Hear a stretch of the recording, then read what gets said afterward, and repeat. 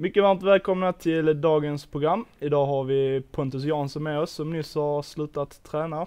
Hur kändes träningen då? Jo, lugnt. Vi hade matchförberedande inför Odense imorgon så att det var en lugn träning. Hur går laddningen inför morgondagen? Eh, att vi fortsätter där vi, där vi är nu med, med bra försvarsspel och sen bygga vidare på de anfallsspel. De kombinationer som vi har haft nu, de matcher som vi har spelat. Så att det är bara att fortsätta på, på det vi har börjat. Eh, för de som inte var i- såg Mjällby, berätta lite om den matchen. Eh, som jag sa, stabil defensiv. De, eh, vi låter inte dem skapa alls många målchanser. Vi, vi ligger bra helt enkelt. Och sen offensivt så, så skapar vi mycket. Vi har två mål, har bud på att göra ännu fler mål. Så att vi, vi ser starka ut så här tidigt på året. Om vi backar tillbaks ett år, du blev nyckelroll i, som mittback. Du växte mer in i rollen med Mm. Daniel Andersson bredvid dig. Hur kändes det? Eh, nej, det började rätt tungt förra året på försäsongen. Fick inte alls mycket speltid, ingen förtroende av Rolle och sen, eh, men jag gav mig fan på att jag skulle, skulle ta en platsen och sen eh, så kom ju Rickard på sommaren och då såg jag det som, som ännu en chans att visa att nu, nu är det dags för mig. Och fick chansen ganska omgående och sen, sen har det bara rullat på egentligen. Ja, stort eh, förtroende för Rickard, han har förtroende för mig så att eh, det, det, det funkat bra. Det blev nästan Champions League och eh, hyfsat bra spel i Europa League. Alltså, hur märkte ni spelet jämfört mot eh, alltså allsvenskan? Eh, nej, det är en helt annan, helt annat tempo, helt annan kvalitet ute i Europa. Det, det märkte vi framförallt när vi kom tillbaka till Allsvenskan sen där vi egentligen inte spelade så bra som vi kan men vi vann ändå våra matcher. Det, vi höjde väl tempot lite när vi spelade i Europa och sen tog vi med oss det till Allsvenskan och det, det gav oss en stabil defensiv och segrar också, och tre poäng. Så att vi, vi, tog lärdom av Europaspelet, absolut. Vad- hur vill du summera allsvenskan? Ni slutade ju fjärde plats till Mm. slut. Hur, hur summerar man den säsongen? Nej, vi började ganska bra. Vi hade fyra raka segrar och sen blev det rätt turbulent med, med alla frågor kring Rolle och vad som skulle hända med, med han och vem som skulle ta över och så här. Så halva, äh, mitt på säsongen där så var det ganska struligt och vi fick inte alls spelet att fungera och så. Men sen sista, som jag sa när Europaspelet kom så tog vi med oss det till Allsvenskan och vi, vi vann våra matcher. Fast vi inte spelade så bra så vann vi ändå. Och som du säger, vi slutade fyra och det får vi ändå vara hyfsat nöjda med. Eh, ni var på träningsläger i Florida. Vi som har följt himmelriket och Sydsvenskan, vi har fått en eh, synvinkel, men hur var din synvinkel där? Nej, som jag sa, vi, vi har börjat säsongen väldigt bra. Vi har byggt vidare på den här stabila defensiven som vi hade på förra året och även har vi fått in Jörgen som anfallstränare och han har mycket nya idéer som han eh, vill utveckla med våra offensiva spelare. Och det, det ser bra ut. Framförallt som jag sa, defensiven ser stark ut och offensiven kommer, kommer igång ännu mer. Vad gjorde man på fritiden nere i Florida? Förutom att spela matcher och träna? Vi hade rätt mycket fritid faktiskt. Vi tränade på förmiddagen och sen hade vi ledigt nästan hela eftermiddagen och fram till kvällen. Vi shoppade mycket, vi var ute på stranden, det var fint väder, vi var på stranden, grabbarna och vi bara njöt helt enkelt. Fick ni nya kontakter med era motståndare? Inte vad jag vet i så fall kanske MFF som klubb men eh, inte för min egen del. Och i senaste samtalsämnet var ju tröjbytet här. Från Mm. nummer 15 till nummer 5. Vill du inte ha kvar nummer 15? Eh, så MFF kom till mig och frågade om jag kunde tänka mig att byta till fem eftersom att de såg det mer som ett ordinarie nummer. Och jag tänkte länge på det och fram och tillbaka men till slut tänkte jag ändå Malmö de vill att jag ska ha nummer fem, det, det är nära och så tänkte vi, vi kör på det. Sen eh, också, jag snackade med de som står mig nära, mina bröder och min familj och min bror hade själv fem när han spelade i Allsvenskan i Trelleborg. Så nej, det blev, det blev naturligt att vi, vi tog femman. Så det ligger i släkten med andra ord. Ja, han är också mittback så att Det låter bra. Eh, Du gick ut på mff.se att du skulle ersätta alla som hade köpt eh, Mm. tröjor. Hur har det gått med den kampanjen? Det är faktiskt två stycken som har kontaktat mig och jag har lovat dem att jag ska ersätta det så att det var inget skitsnack utan de som har köpt och beställt detta året, jag tyckte det var, var synd så att vi, vi får hitta en lösning och vi kan fixa det på något sätt så att det, det var inte bara tomma ord utan det, det verkligen vill jag, vill jag mena. Och för er som har köpt där hemma, se till att mejla Pontus på Twitter eller Facebook så ordnar han en ny tröja till er, eller hur? Absolut. Vi går vidare.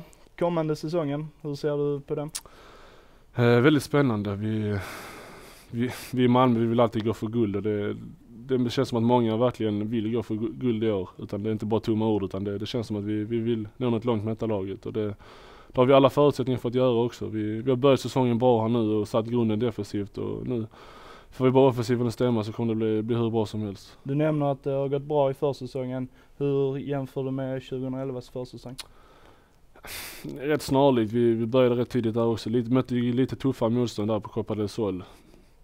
Men eh, det väl rätt snarlikt. Det känns som att det börjat lite bättre detta året. Hur känns formen i truppen om man jämför fortfarande med förra året? Det är svårt att jämföra så här men det, det känns som ett helt annat gå nu i laget. Vi, vi kom ändå som regerande mästare. Kanske för att det fanns en liten mättnad förra året. Men detta året så är vi verkligen Vi har gett oss fram på att vi, vi ska göra succé detta året. Vi ska ta, ta oss så långt som det bara går. Det, det, det känns som att alla verkligen är med på det. Eh, Svenska cupen bytte nu system man spelar numera höst-vår. Mm. Hur ser du på det?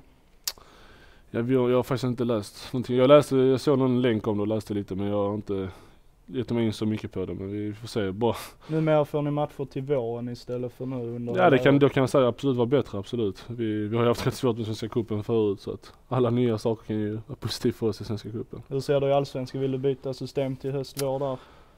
Det är också svårt att säga. Det, det har mycket med plan, planerna måste vara bra och klarar inte planerna av det så är det inte lönt. Nu är det rätt många som har konstgräs så så, så, så fall hade det kunnat funka men för oss så, jag tror att vi, vi ska hålla oss kvar med det, det vi har nu. Kan bli svårt i norra Sverige Ja, med precis. mycket snö och Ja, kyla. Att, nej, vi får i framtiden så om vi ska nå ut i Europa och bli ett lag som kan slåss ut i Europa så måste vi ju spela så som de gör. Men eh, i nuläget så, så finns det nog inga planer för det tror jag tyvärr.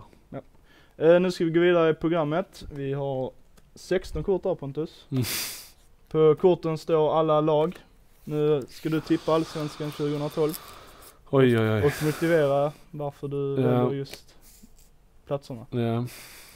Åtvidaberg känns som att de kommer vara ett eh, lag som slåss i botten. Nykomlingar. Har inte så bra koll på deras trupp. Eh, Örebro har en bra trupp. Tappat några.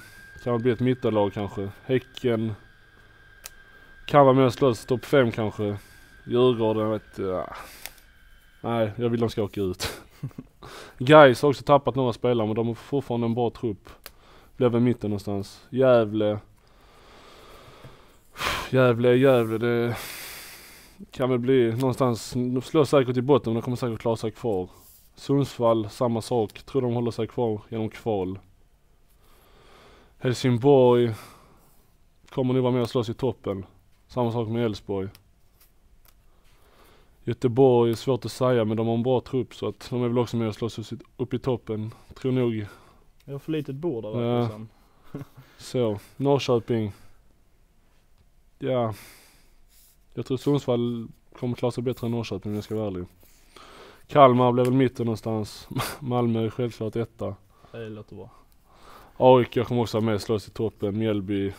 Så som nu när vi mötte dem så var de inte alls bra så att de kommer också vara med och slåss i botten, samma Syrianska. Det ser ut som ungefär som förra årets allsvenska. Ja, Ungefär. något sånt blir det väl. Vi får återkomma när säsongen är slut hur, hur det blev med det.